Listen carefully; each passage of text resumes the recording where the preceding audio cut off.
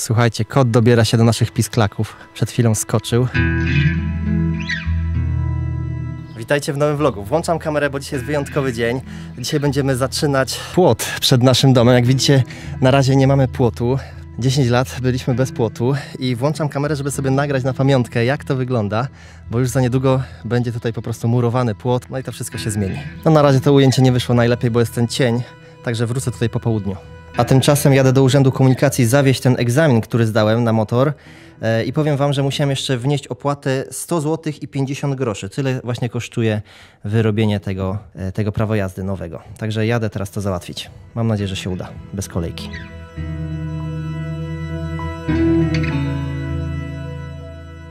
Właśnie wróciłem z Urzędu Komunikacji. Powiem Wam, że czas oczekiwania na prawo jazdy to około dwa tygodnie, także dwa tygodnie będę musiał jeszcze czekać.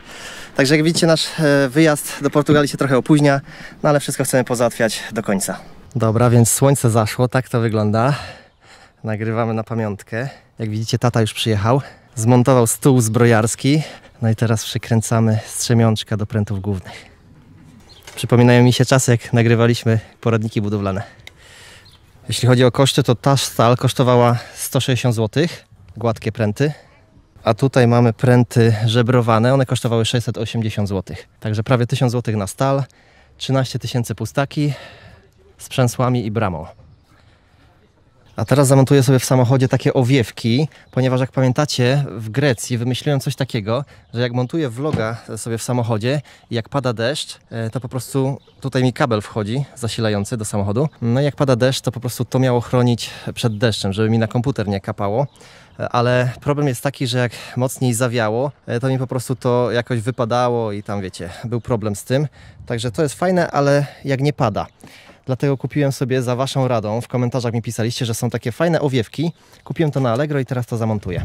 Jak widzicie rozpakowałem. Owiewki są firmy Heko, podobno dobra firma, bardzo ładna jakość. I tutaj były takie blaszki montażowe, cztery, także na to się montuje. Tutaj mamy instrukcję, jak widzicie trzeba włożyć tą owiewkę i przymocować ją blaszką. Dodatkowo są tutaj jeszcze takie plasterki dwustronne z jednej strony i z drugiej. Także montujemy.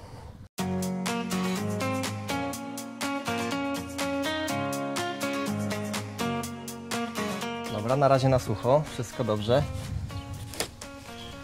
Możemy odkleić.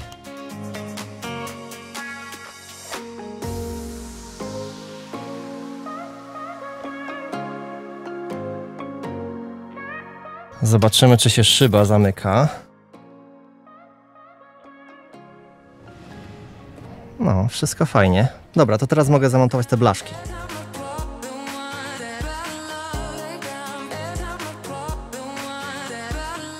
Trzeba dobrze upchnąć. Dobra, weszło. Tak to wygląda od dołu. To jest pierwsza blaszka, a drugą dałem tutaj. I tam mamy drugi. Nie wiem, czy widać, ale, ale wszystko jest założone. Także fajnie, zobaczcie. Tak wygląda owiewka. Bardzo estetycznie. Zobaczymy, czy się zamyka. Super. Zamontuję teraz drugą i możemy już montować vlogi w samochodzie podczas deszczu.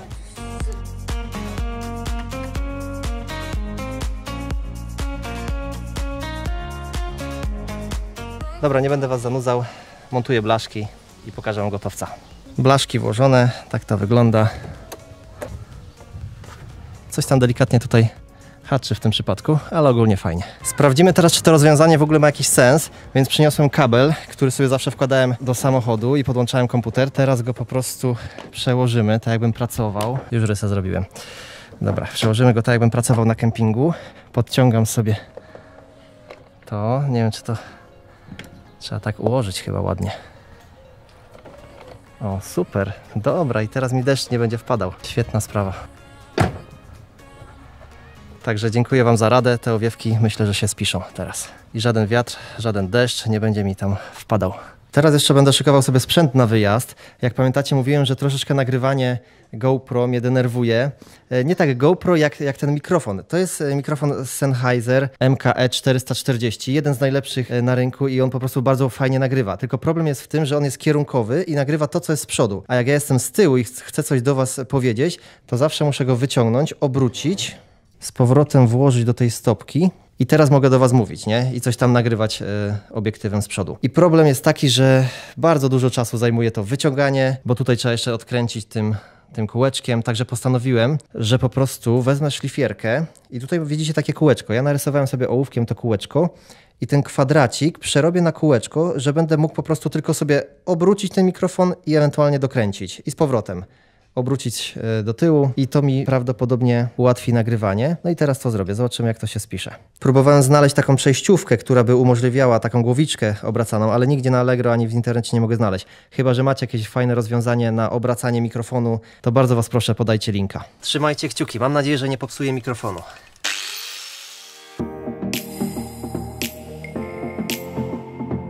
Tak to wygląda, zobaczcie.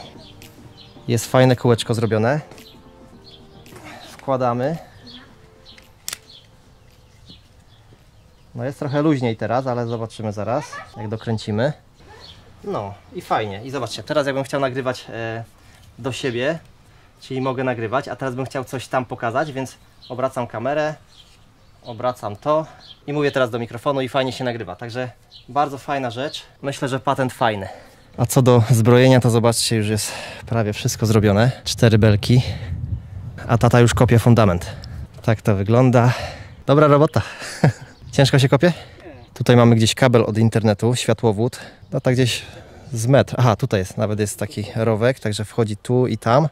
No jeszcze prąd idzie tu i do skrzynki. Także mieliśmy trochę miejsca a ten nie wiem. Także najważniejsze, żeby nie przeciąć kabli. Słuchajcie, w ramach sprostowania, e, tata robi mi ten płot, ale ja mu normalnie płacę godzinówki. Chciałem wziąć firmę, ale mówię, co będę w firmie płacił, jak mo może mój tata zarobić, więc, więc tata nam robi ten płot. No ja nie umiem go zrobić samemu, więc poprosiłem tatę. No i myślę, że każdy tutaj będzie zadowolony. Pewnie się zastanawiacie, jakim mikrofonem teraz nagrywam, skoro ten jest tutaj. I powiem Wam, że takim samym, bo kupiłem sobie trzy takie mikrofony. Zainwestowałem właśnie w jakość dźwięku, także jeden do GoPro, drugi mam teraz na kamerze, a trzeci zapasowy, gdyby coś się tam jeszcze stało, nie? Także te mikrofony w moim przypadku okazały się najlepsze, no i te będę stosował. No a kupiłem trzy sztuki, bo nie wiemy jak długo będziemy w Portugalii. Gdyby się jeden popsuł, to po prostu będę miał jeden na zapas. Wszystko z myślą o przyszłości. Chodźcie teraz zaniesiemy ten safe do przyczepy kempingowej i znajdziemy miejsce, gdzie mógłby on być przykręcony. Także bierzemy go. Ciekawe, czy się zmieści przez drzwi w przyczepie. Nie no, zmieści się bez problemu, tylko chciałem Wam powiedzieć, że ta przyczepa ma bardzo szerokie drzwi w porównaniu z naszą starą. Nie wiem ile tu jest centymetrów, ale może zmierzymy. No i mamy, proszę Państwa, już Wam mówię, 62 centymetry. Napiszcie w komentarzach ile Wasze drzwi mają, bo te naprawdę mi się szerokie wydają. Może pojadę jeszcze do mojej starej przyczepy, to tam też zmierzę. I teraz Wam wkleję ile e, w starej przyczepie jest. Zanim zamontujemy ten safe, powiem Wam, że moje dzieci już spały w tej przyczepie. Tak naprawdę śpimy już tu od trzech dni. Uwielbiają te łóżka piętrowe. Po prostu nie chcą spać w domu. Już mówimy do nich, chodźcie spać do domu. One nie, one chcą tutaj, nie? Także Nadia śpi u góry, tutaj śpi Ania i na dole Szymuś. Jak widzicie, nieposłane. Uczymy je tego, ale dzisiaj akurat nie posłały. Ja spałem tutaj. Bardzo wygodne łóżko. Nie wiem jak z Kasią, bo sam spałem, Kasia spała w domu. No i tutaj jeszcze raz kuzynki były, to spałem e, tutaj na tej podkowie, także piątka dzieci tutaj ja tutaj i powiem Wam, że tutaj jest troszeczkę niewygodnie. Jednak e, te wszystkie załamania, tutaj są ogromne te fałdy, więc na tym się troszeczkę nie wyspałem, ale tak od biedy może być. Aha, jeszcze jedna sprawa. Tutaj jest te dwa metry, także tu się zmieściłem, ale tutaj jest chyba metr osiemdziesiąt. Odtąd dotąd. Myślałem, że tutaj sobie zrobię łóżko i tak sobie wszystko położyłem, tam pościeliłem, a się okazało, że po prostu moje nogi wystawały gdzieś dotąd. Także to jest raczej dla dzieci, tutaj może być osoba dorosła. No właśnie, mamy miarkę, więc Nadia przyłoży tam do ściany. Ok. Metr 70, proszę Państwa, więc jeżeli tyle macie, to się zmieścicie, a jeżeli więcej, to już nie. A teraz od tamtej ścianki, Nadia, od tej brązowej, dalej, dalej, dalej. Tutaj, dobra. Dotąd mamy 2,20, więc to łóżko jest większe. Tutaj nawet to widać. Ta ściana jest e, tutaj, a jak damy po linii prostej, to po prostu ta jest tutaj, nie? Także o tyle różnicy. Powiem Wam, że chciałem ten safe umieścić tutaj, ale okazuje się, że tu jest podwójna podłoga. Teraz Wam pokażę, zobaczcie, to jest taka płyta, ona jest tutaj bardzo miękka. Jak widzicie w tym miejscu jest po prostu ta płyta 5 cm wyżej od podłogi e, przyczepy, więc bym musiał po prostu wyrwać. Zobaczcie, ta płyta po prostu tutaj pracuje, ona jest bardzo cienka No i tam, nie wiem, może jakieś instalacje są pod spodem, ale montaż sejfu na tej płycie raczej odpada. Chyba, że uda mi się ją odkręcić. Tu jest jakaś śrubka, więc to wszystko by trzeba odkręcić i przykręcić to może do podłogi. Albo znajdę inne miejsce. No i zobaczcie, tak by mógł być, tylko po prostu kwestia przymocowania go jakoś stabilnie.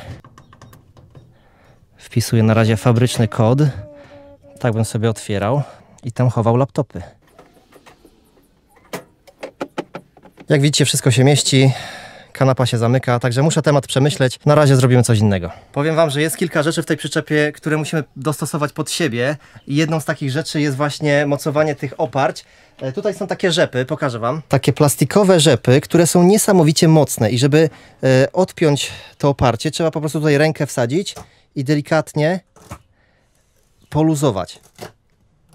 One są zrobione z plastiku i obawiam się, że tutaj po prostu za niedługo zrobi nam się pierwsza dziura i druga dziura. I z doświadczenia wiem po naszych podróżach, że bardzo często sięgamy pod kanapy, po, po różne rzeczy. Zazwyczaj mamy tutaj jakieś chusteczki, ręczniki, e, jedzenie, także cały czas sięgamy e, pod kanapy, nawet kilka razy dziennie, więc wyobraźcie sobie, że kilka razy dziennie po prostu e, to wszystko otwieramy.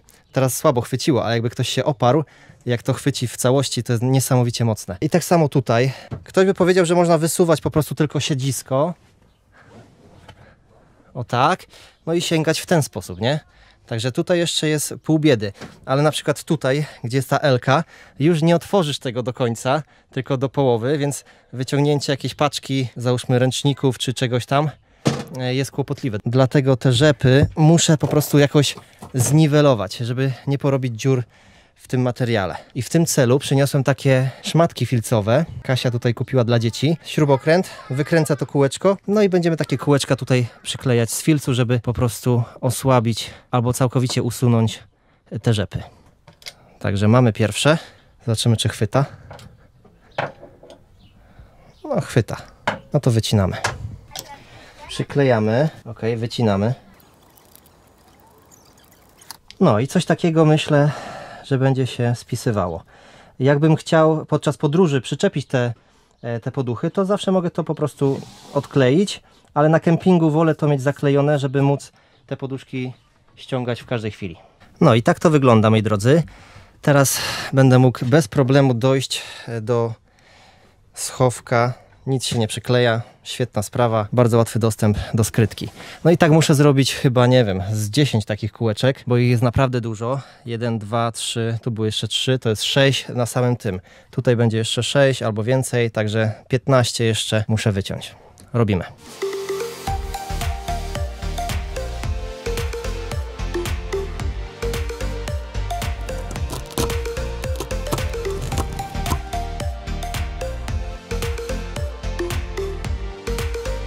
No i mamy, proszę Państwa, zrobiłem wszystkie kółeczka. Mamy ich łącznie 1, 2, 3, 4, 5, 6, 7, 8, 9, 10, 11, 12, 13, 14, 15, 16, 17 i jeszcze w sypialni.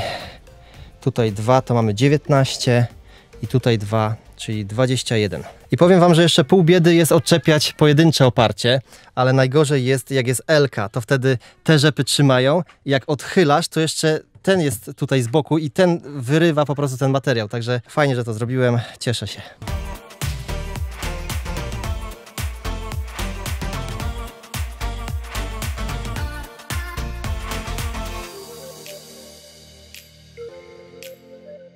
No i tak to wygląda ostatecznie. Chodźcie teraz sprawdzimy jak działa ten Bluetooth. Tutaj jak wiecie mamy taki, to się nazywa Adria Media Controller. I to urządzenie możemy podłączyć e, ze smartfonem albo z komputerem. Jak widzicie jest e, wejście na USB w tym miejscu. Potem mamy wyjście AUX i potem jest włączanie on-off. Czyli ja teraz włączę to urządzenie. Ono powinno się zaświecić.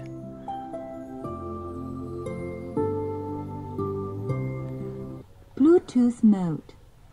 Dobra, coś tam powiedziało. Mam nadzieję, że słyszeliście. Tutaj jest jeden głośnik, a drugi jest po drugiej stronie, w tamtym miejscu, na samym końcu. No i teraz wezmę telefon i będziemy mogli słuchać muzyki. Słuchajcie, kot dobiera się do naszych pisklaków. Przed chwilą skoczył. Kotku. A kto to ma być? Piotr? No, Piotr. Nadia go nazwała Piotrek, a tutaj mamy pisklaczki i go kuszą. Ogonkiem rusza. Zjadłoby się, nie? Takiego kurczaczka. Ania, Ania otworzyła drzwi i się wystraszył. Dobrze, no to włączamy Bluetooth. I jak widzicie mamy tutaj sieć Adria. Klikam to, gotowe. No i teraz możemy coś puścić. O, zróbmy coś takiego, że wejdziemy na YouTube i teraz wpiszę przyczepa kempingowa w wyszukiwarce i kogo vlog będzie pierwszy, tego wypromujemy trochę. Zobaczymy, kto się tutaj pojawi. Przyczepa kempingowa. O, jest jakiś vlog, którego nie znałem. Nie do zajechania.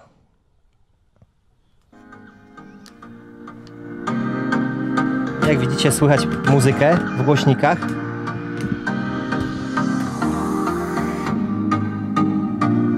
Także fajnie, można teraz e, oglądać YouTube. No. Także pozdrawiamy pana. I będą prawdopodobnie zapisy.